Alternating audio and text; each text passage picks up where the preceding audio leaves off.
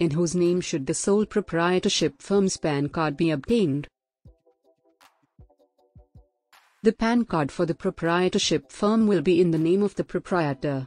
The company PAN card is not issued to the sole proprietorship firm as it does not have a separate legal existence like a company. Should the bank account be in the name of the sole proprietorship firm?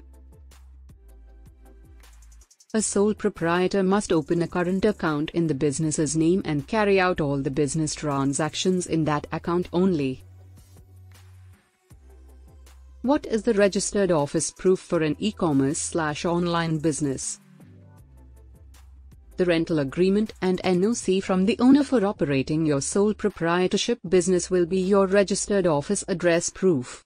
In case of an online or e-commerce business from home, your house address proof or the commercial electricity bill will work.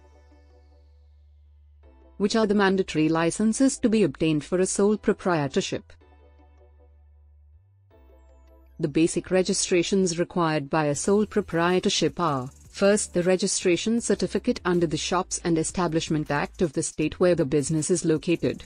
Second, the GST registration certificate and third, the MSME registration certificate. Is a GST license mandatory for a sole proprietorship? If the sales or turnover of your business crosses the threshold limit of 40 lakh rupees in a year, then it is compulsory to get a GST registration done. However, businesses registered in special category states must obtain GST registration if their threshold limit crosses 20 lakh rupees. Lastly, if any e-commerce seller on an e-commerce aggregator portal must have a GST registration, irrespective of the turnover.